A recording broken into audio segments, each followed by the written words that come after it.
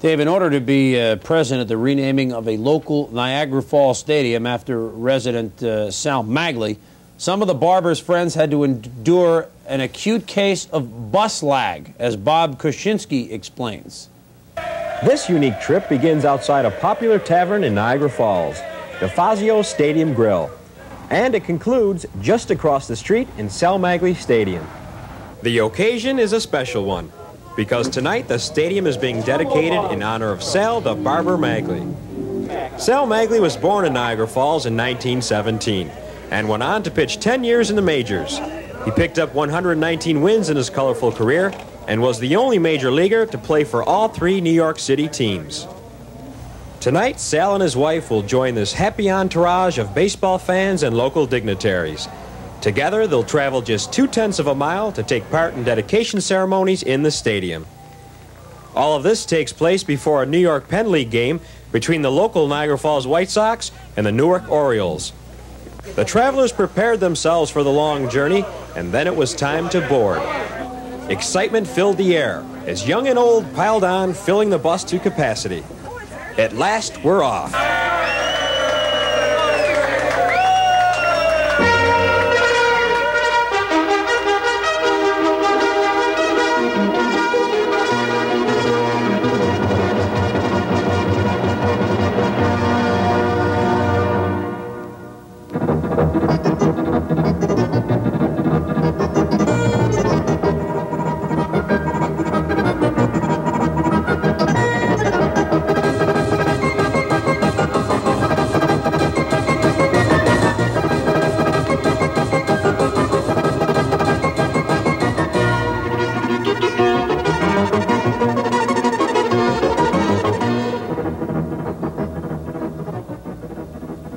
Once inside, it was time for the presentation.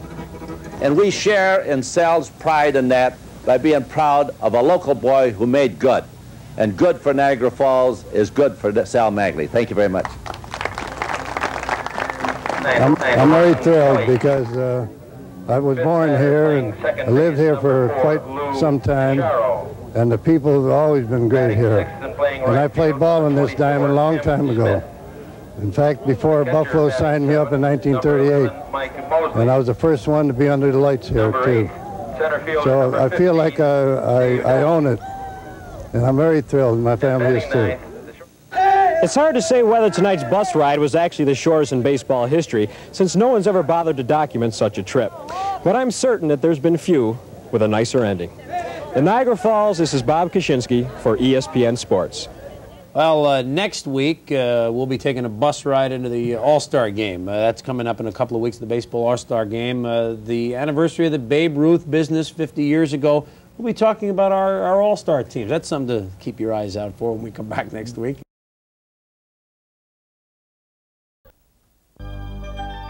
It was 10 years ago that a much younger and, yes, even thinner Bob Kaczynski opened what has since been billed as the world's shortest baseball bus excursion story.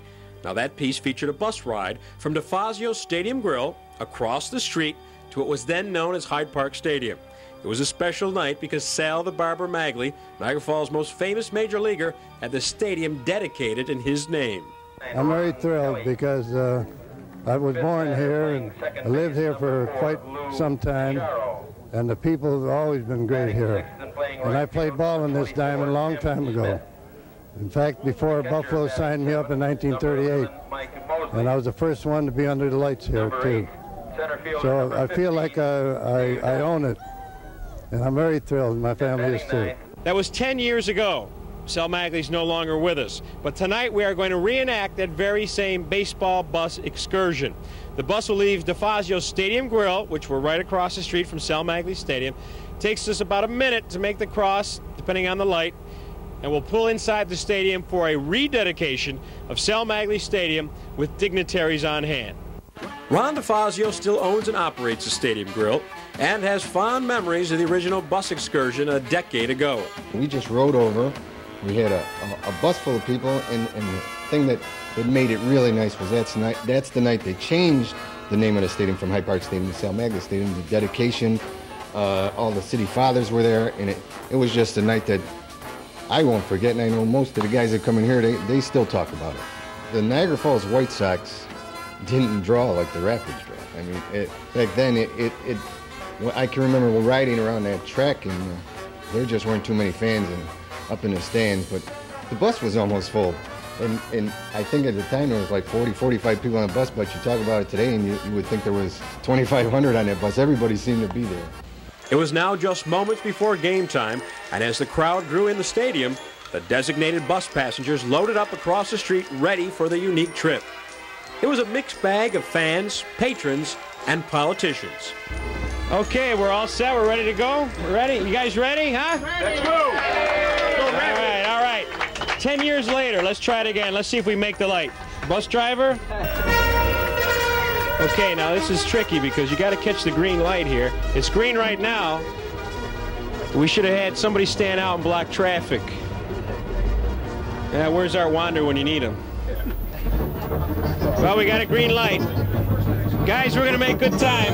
All right.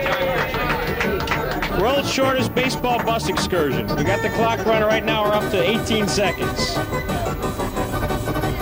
We're, we're much quicker than the year we used John Dandy, Stadium Operation Director. Niagara Falls Rapids, a crowd waiting our arrival.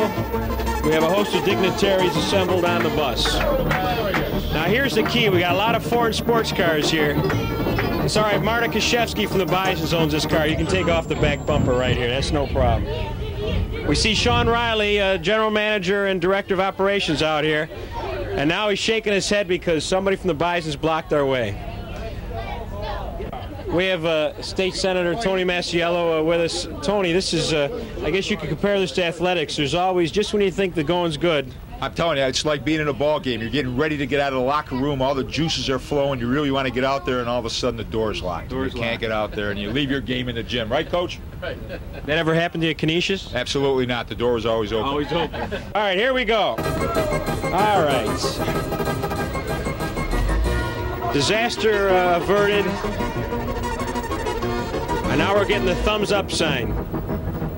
As we enter the stadium, I see Bison general manager Mike Billoni eating a box of popcorn, saying, what, me worry? Checking the watch. Okay, you can, uh, you can stop right here. Ladies and gentlemen, Mike, Mike, we, we were blocked, our way was blocked by a car. Marta Kashevsky parked the vehicle right by the doorway there. Uh, we will have her towed, we'll have her ticketed, and she'll be thrown out of here, but you are late. The crowd of over 3,000 then watched on as the stadium was rededicated to Niagara's most famous hurler.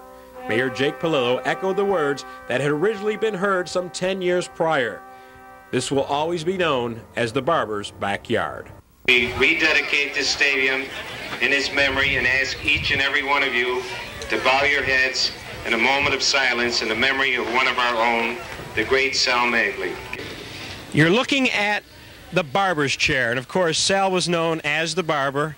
Uh, a lot of um, a lot of myth, a lot of lore as to why they called Sal the barber. Some said it was because he pitched close to the chin. Some said it was because he had a day's growth before he pitched. Of course, uh, there's a story about him being referred to as the barber on the third chair. Uh, whatever the reason, it stuck. Sal the Barber, and this is a permanent fixture here at Sal Maglie Stadium, donated by Bucky's Barbershop. Uh, Angelo Bucky Yotis, who was a big fan of Sal's and the Yankees, uh, who has a very famous barbershop here. Uh, Bucky has passed away as well, but uh, some great names, some great association with Sal the Barber Maglie here at the stadium. Uh, it's only fitting and suitable that probably uh, one of the best, or the best that came out of this city, baseball-wise, has some kind of remembrance of the people of the city.